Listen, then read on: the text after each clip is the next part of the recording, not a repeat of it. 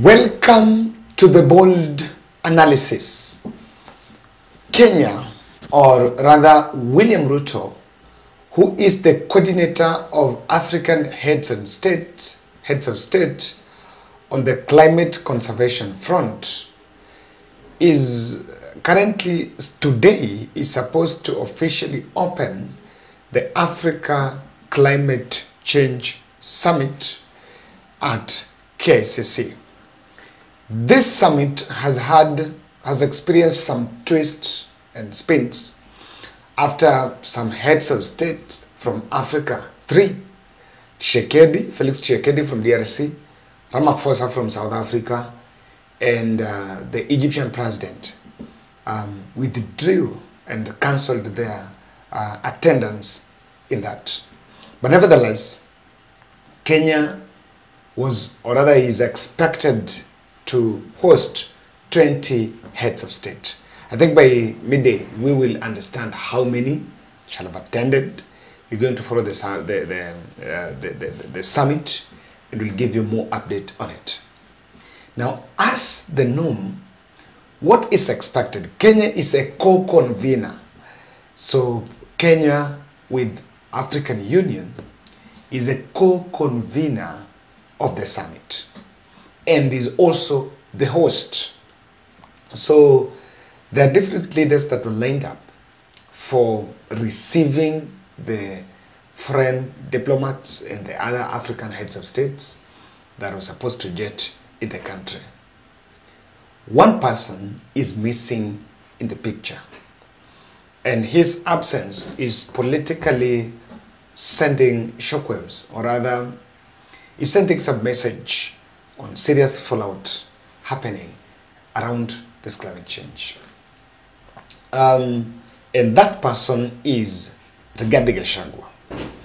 Most of these uh, delegates and high-profile diplomats arrived in the country over the weekend, and especially on Sunday because the summit is starting today.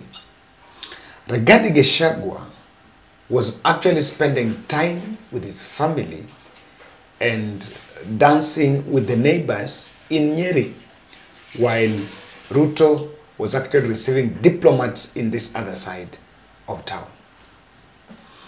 It's also uh, it is also worthy to note that Musalia Mudavadi, who is the chief cabinet secretary, flew to uh, Zimbabwe to attend the inauguration ceremony of Mnangagwa, which is supposed to happen, which is supposed to happen today. You don't have listened to African podcast, and I have a temptation of saying happen instead of happen, instead of happen.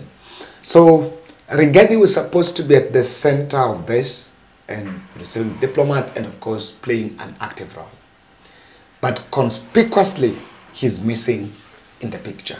He's been missing in bit of the prep. Now, even if you look, um, um, most of these events, the little, the less, more of which has been seen is him sharing these photos and these videos, uh, the videos of the summit uh, from the State House Facebook page, sharing in his Facebook page. What exactly is happening? Someone was making a joke that as the world is, uh, as the country is gearing up for the world, for the climate change summit, someone was giving orders for Raila to be blocked in highway, and um, it's it's a it's an explanation of how people sometimes don't have priorities. Why is Gachagua missing in the picture? Why? Because um, probably as the office of deputy president, uh, his office was not actively involved, probably in planning, because the respective ministries that I saw actively around the summit was that of tourism, foreign relations, environment, and the state house. He's not been part of the presidential uh, team that is receiving delegates. There are three other aspects, and of course, I read, uh, I think this had emerged sometime two weeks about some push and pull about the climate change summit tenders. This started, this fallout, sometimes these things are about interest. And such a high profile summit, it's an African summit. So it's attracting delegates from all over the world. And with that, there are tenders that are given for service providers. And according to, because it's AU Kenya, for convenience, most of those service providers are across Africa and also in Kenya. The first tender that was to be given was on the first lifting of KICC. And that first lifting of KICC was done by the KDF. So that means it was under, um, it was given through under the Duale side, or rather it was just the president, because the president is also the chief, the chief of defense forces. Commander, not the chief, the commander of defense forces. There's been a lot that is needed even on the hospitality.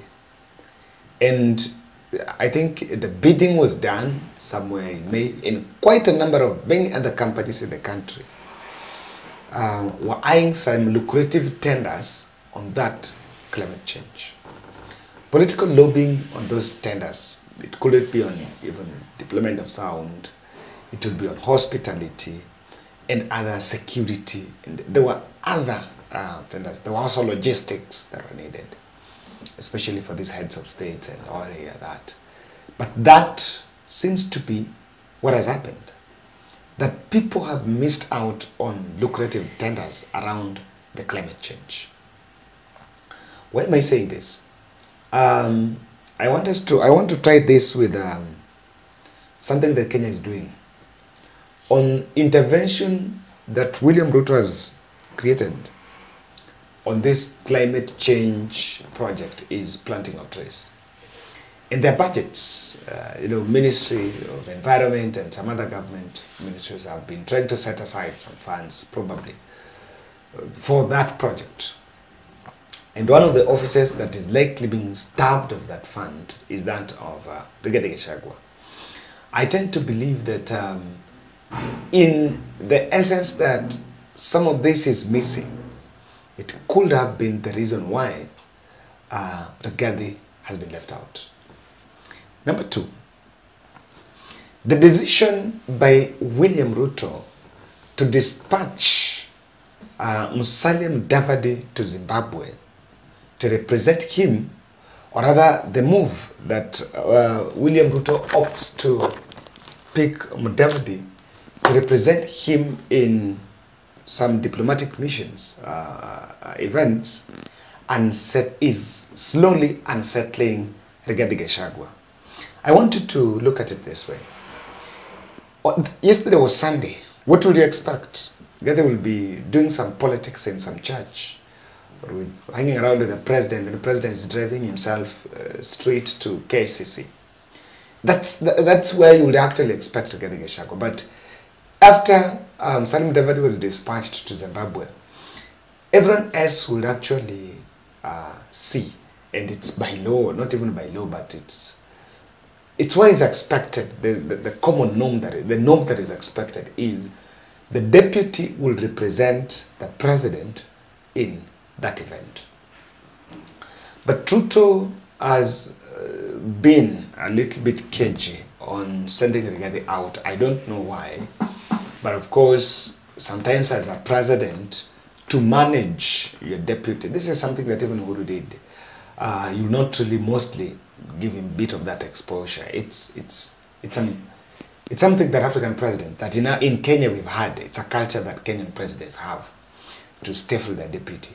Now, nevertheless, Mudavadi has been representing William Ruto on these events in Nigeria, Tinubu, during the inauguration ceremony of the Nigerian president. It's Mudavadi who represented William Ruto. I think there was also another mission in Burundi and then um, Mnangagwa in Zimbabwe. But I'm saying this because in South, Af in South, African side, I've seen other presidents coming in. Now, there was another information I had received, and I think I analyzed here, that African presidents, none Af presidents outside Africa was only the Pakistani president that was expected in the country that had confirmed his attendance, but the other African presidents were not really in it. So whether there is bit of that co-convening and how this is going to be held, it's something to be seen. But the fact that David, uh, Kalo, um, Rigathi is not part of the team is something that raises eyebrows. Now, who would want? There is something that uh, I know. It's true that presidents would always have, are always are tempted to stifle their deputies for political reasons, one or the other. But Rigathi Gachagua packaging and contact is also one that is worrying. And it is that conduct, the packaging that will also, you know, make you ish ish. Let's use one example. Um, Rigathi's speeches lacks the filter, necessary filter. There is a way he has not, he cannot differentiate um, a launch of a school in Kenya and an event that has international dignitaries. And he seems to be under that policy of truthful men. Quite a number of damages have been caused by being a truthful man. So, what kind of speech would you think Rigathi will give while speaking in Zimbabwe? Of course, even there, the climate summit, will not maybe give a speech because it's President William Ruto's side. So, there is a very clear uh, line here that uh, Ruto is also fearing of, Rigathi is also being sidelined because of diplomatic flaws that may arise from his visibility. He has a little bit of diplomatic flaws and the political indecency, I think that's the word.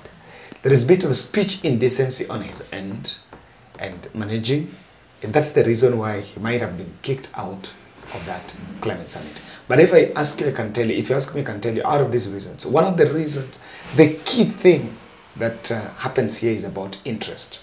And when my interest is not served, then it seems my presence is not needed. That's my take.